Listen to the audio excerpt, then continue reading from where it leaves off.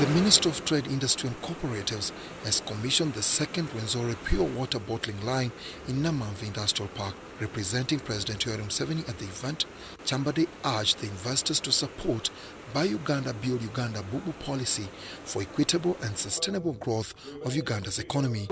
We are, however, as a ministry, committed in the development of a competitive and export-led private sector.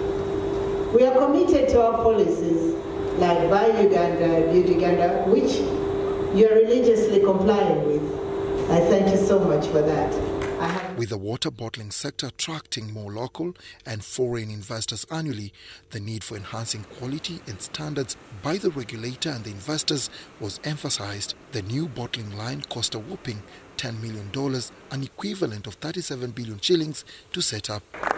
It's also a philosophy to employ local people, and you can see all the people that spoke in that video were Ugandans.